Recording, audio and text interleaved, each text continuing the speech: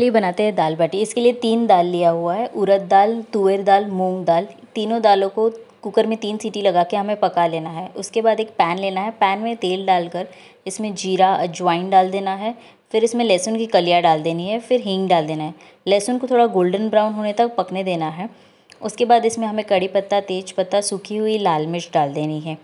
फिर इसे अच्छे से मिक्स करके, उसके बाद इसमें हमें उबली हुई दाल डाल देनी है।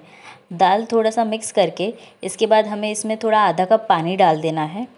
पानी डालने के बाद इसे अच्छे से थोड़ा मिक्स कर दीजिए। फिर इसमें हमें सारे मसाले डाल देने हैं, जैसे जीरा, गरम मसाला, लाल मिर्च, हल्दी, अदरक मिर्च, लहसुन का पेस्ट लहसुन की लाल चटनी, ये सारा कुछ अच्छे से मिक्स कर देना है। फिर हमारी दाल तैयार है।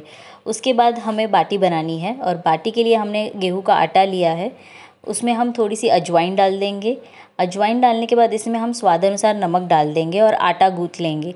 आटा गूँथने के बाद इसे हमें ऐसे शेप देना है और फोक से ऐसे इसमें हमें निशान बना देने हैं। फिर उसके बाद इसे हमें स्टीम कर लेना है। स्टीम करने के बाद इसे हम फ्राई कर लेंगे। फ्राई करने के बाद हमारी बाटी तैयार है और इसे मैंने सर्व किया है पापड़, अचार, घी, नींबू और कांदे के साथ। आप भी ट्राई कीजिएगा।